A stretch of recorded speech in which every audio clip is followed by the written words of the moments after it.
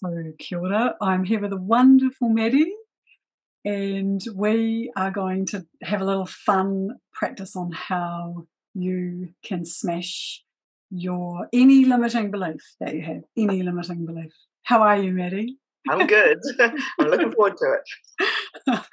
okay. So, uh, I was trying. I thought we'd just go straight into the tuning in for it. But if you uh, if you're happy to do this, just if you just close your eyes and just kind of like tune in and just let rid of any toxicity that you have from the day. Mm-hmm. Yep. Cool. And then just let anything come to you that needs to come to you.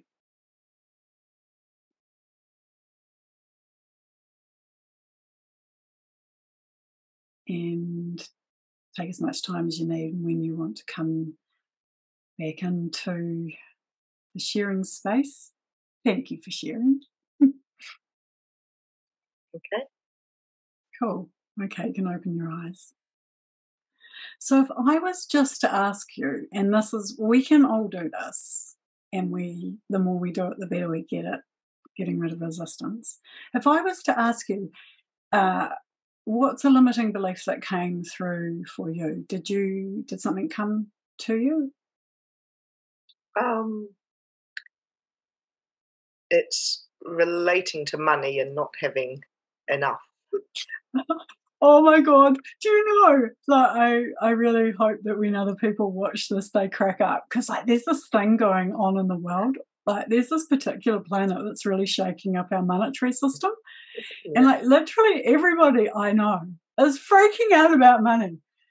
and I'm not even a person that freaks out about money, but I've started freaking out about it just like, you know, because everyone around me, it's like, it, it's Uranus and Taurus, and mm-hmm. it's going to, and we got a Mars retrograde coming. So we're going to continue to do a bit of shaking up. But I'm so it pleased. Wasn't even what was my issue today, except that that's come to me through family so, today. Well, maybe you're an empath and you're soaking up the whole world's pattern as well. Okay, so this is cool. This is thank you so much for bringing that in, Maddy. So if you, well, I'm going to um, just ask you some questions, and if you want to take notes, this is how you do it for yourself. So first thing you you say is, do I have a limiting belief?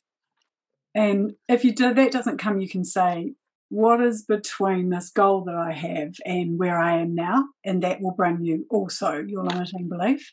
So when you have it, the first thing I always say is just do a bit of grounding, which is just really some breathing. Some yeah. I like the breath of breathing in my mouth and breathing out my nose because it brings a lot of energy into your mind and helps you to, you know, mm. kind of like really focus. So you just breathe in like and then breathe out your nose and keep coming and more and more, and more, and more, and more, more, more. Yeah, and when you breathe out, get all of the lungs air and stale air, breathe it out. Keep going, keep going, keep going. More, more, more. And breathe in. and last one, and really blow it out the last.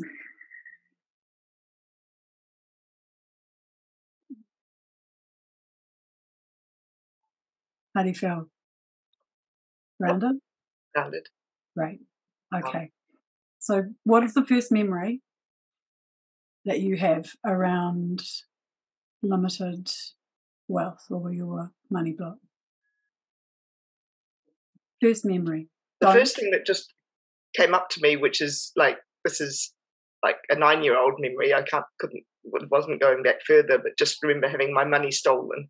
Okay, great. So, were you inside or outside? Outside alone or with others? With others.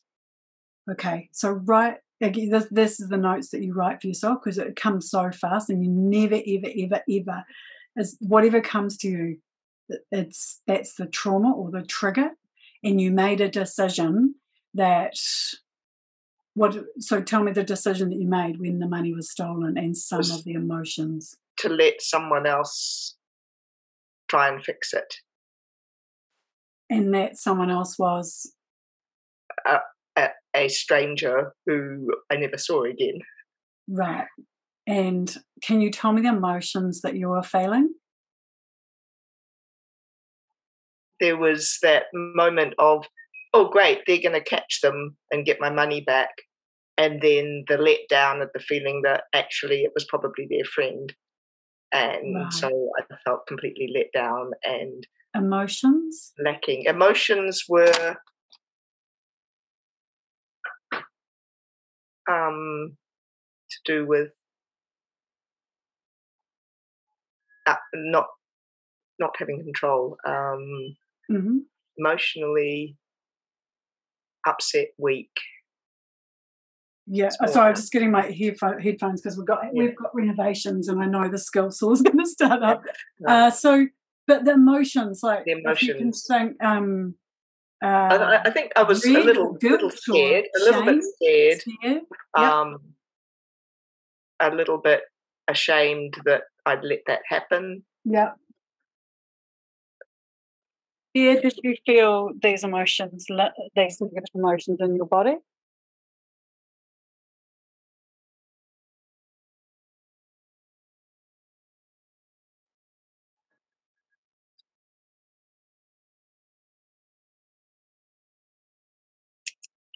More in my back than anything. Mm, okay, thank you.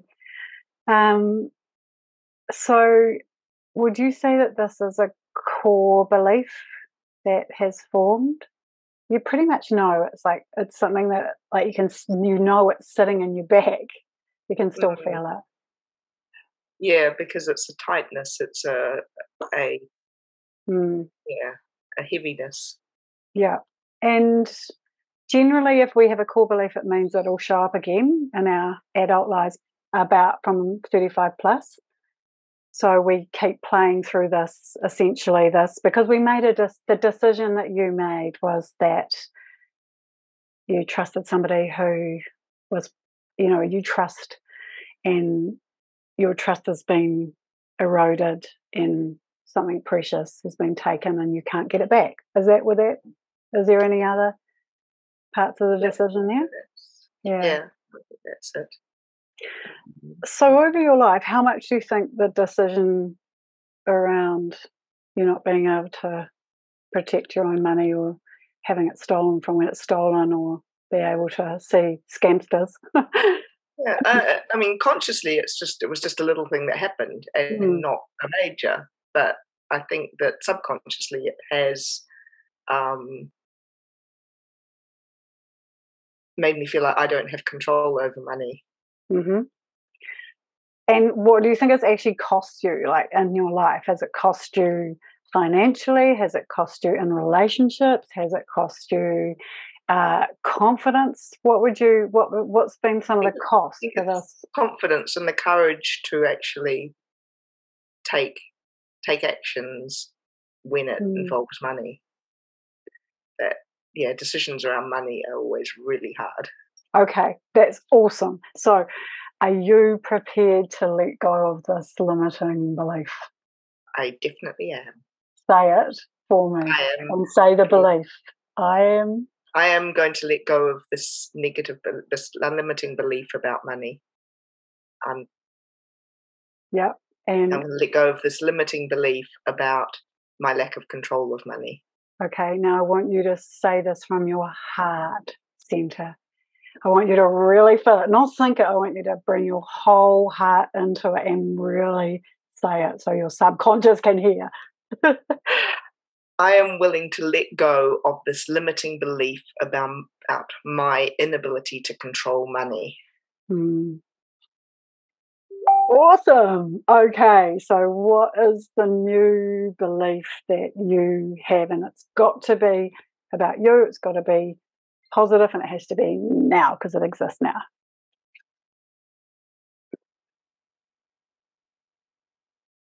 I have total control over my life in relation to money. Awesome. Awesome. And do you have any little goal that you're working on around this new belief? Is there a little goal? Like, are you just, is there something you're working on at the moment? Or little or big? Doesn't have to be little. Yeah, uh, it's, it's the belief that I have the value to earn earn money online, like earn to develop an online income. That is so cool. So cool. Okay, so what we're going to do now is the fun part because we're not only just going to, you've released and we're cleared, transmuted across all time, space, dimensions, reality, boof, away goes that belief. Now, the really good bit is to go back to when you were nine and you can just close your eyes if you want to use the eye patch now. I'm just going to do a super quick little self hypnosis that you can do anytime. Yeah. Probably. I love that. You look like a total hippie. Especially That's about the right timing. That's so awesome. Okay. Right. So, so we'll do a three deep breaths again through the mouth and then blowing out all when you're ready.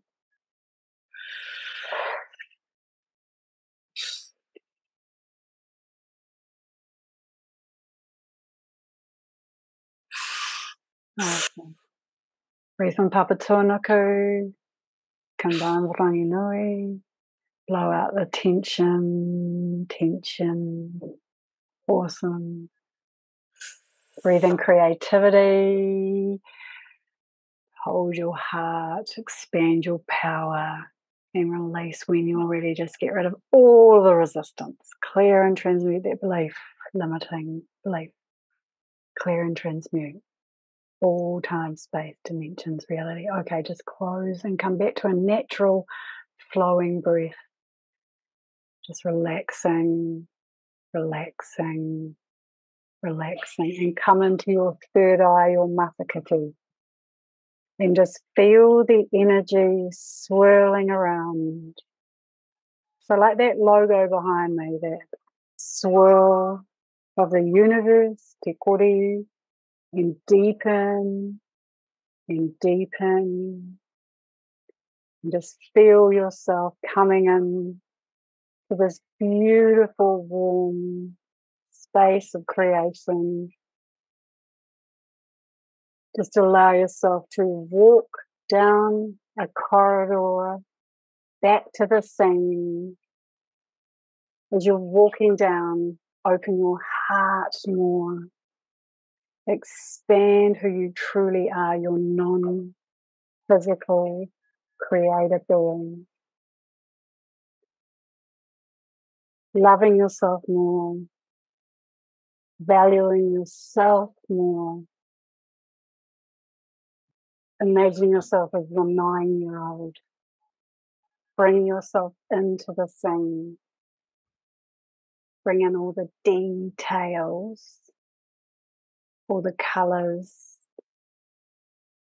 and replay this scene as you would choose. What is happening when you are powerful, empowered? What are you doing? See the colors really bring your senses, your extra sensory perception into the scene.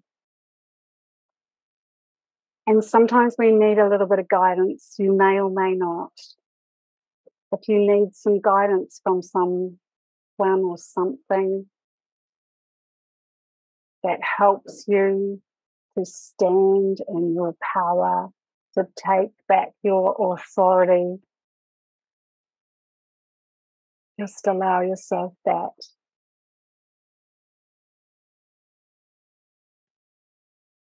If there's any wisdom to receive from self or others here, just really feel absolutely everything you need changing and feel your power to change the nine year old.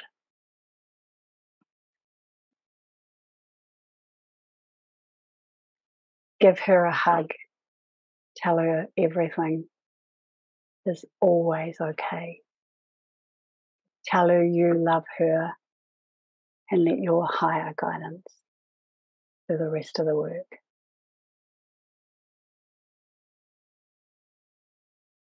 So amazing. I always like to look at my feet here. What are what are, am I wearing? Are you wearing shoes? Just feel your feet because you're walking in this new power that you have to shift and change. You can change anything. Doesn't matter about the noise. Someone else going in. so, because you've done so well, is there any more you need to do, Maddy, to change here? No, okay. So we want to celebrate this win now. So stay in the same. Yeah. And if you want to, again, just like you can. I wonder who that was. Uh, the universe was calling. Interesting. right at the moment of celebration. So I want you to really now bring in this depth of celebration because you just did something cool. You smashed a belief. You placed a new one in there. So we got to celebrate it. So, however, you celebrate on your terms and go big. I always like to bring in universal characters, but you don't have to. You can be universal, physical, whatever. that was a big smile. awesome. I love that. I love the throwing off. And then bring that celebration, just feel it like in every single pore, every single, all the space dust, the 99% in every single trillion one of your cells. Bring that power of your celebrating in.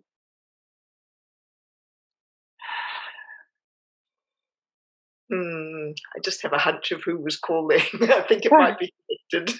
Hmm. That's so cool. That's all they can wait. Yeah, that day. They're gonna have to wait because yeah. we, we are reshooting the scene or finding a new perspective. And I want you now just to as you're in this celebratory uh, state, I want you to give me, I want you to tell me one thing you're going to do in the physical world with your new belief, one practice or one that you're going to repeat, because this will strengthen the neural pathway and take it from a little skinny, skinny, skinny thread into the weaving of your kete. So tell me one thing you're going to do to cement this. One. It's uh, just trying to word it right. It's about passing on to my sister that we are ser- we have serious abundance in our future. So, are you going to ring your sister? The belief, yeah, yeah. Well, you got it now. It's not in your future. It's here. Yeah, it is now. now. I, yeah, yeah, we are seriously abundant, and we have we have control over our uh yeah together we're going to yeah. Take on the world awesome that's so awesome so when you're ready you can just take off your um you can take off the the the blindfold which really is just to deepen that little imagination part because mm-hmm. um yeah, you have done something amazing. So tell me about what happened in there. Tell us, tell us about yeah. so we can share it. What happened? Oh, in, so what, what happened in there? I was, it was actually my corridor was a line of trees, which was really nice. Mm. It was mm. a, a tree lined corridor, and then when I was there, there was a sense of not not only not letting go of what was important to me and standing up for myself, but there was also there wasn't somebody else there who saved it for me or saved me. Mm. They were just there, whether it was me or my higher self or something, was mm. just a sense of somebody there that made sure it was I was safe and mm. made sure I was in control. And they mm. were just just there backing me up. And then at the end of it, I realized that I was there with my sister and it was the mm. two of mm. us mm. that were going through this and that have been on a journey ever since that hasn't quite gelled. So yeah, so there was that sense of oh yay, it's both Shifted. of us, and both yeah. of us have had a yeah. shift here. That you're a twin sister. No, she's not a twin. Ah, she's, she's very close though. Energetically. Yeah, yeah, she was calling. Maybe we'll find out. yeah.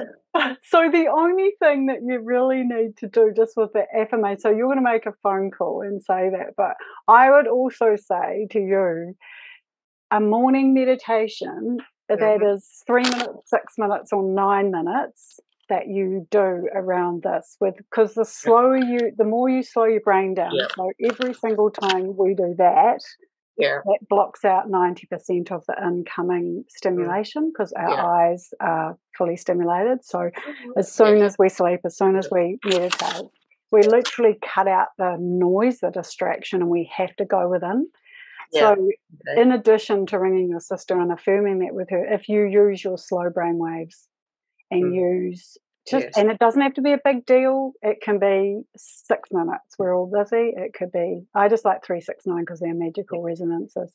But it could be any and anything that yes. you do that just affirms. And it's.